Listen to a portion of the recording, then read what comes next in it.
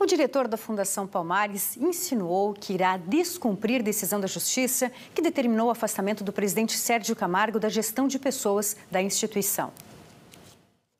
Com a decisão judicial, a gestão de pessoas e servidores da Fundação Palmares, que inclui nomeações, exonerações, transferências ou sanções, passa a ser responsabilidade do diretor de Fomento e Promoção da Cultura Afro-Brasileira, Marcos Petruccelli. Nas redes sociais, ele respondeu ao comentário de Camargo sobre o afastamento.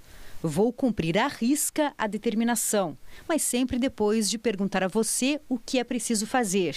E finalizou com risadas.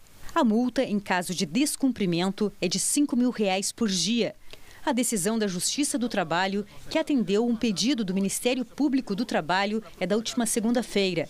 O MP pede o afastamento de Camargo da presidência da Fundação Palmares por denúncias de assédio moral.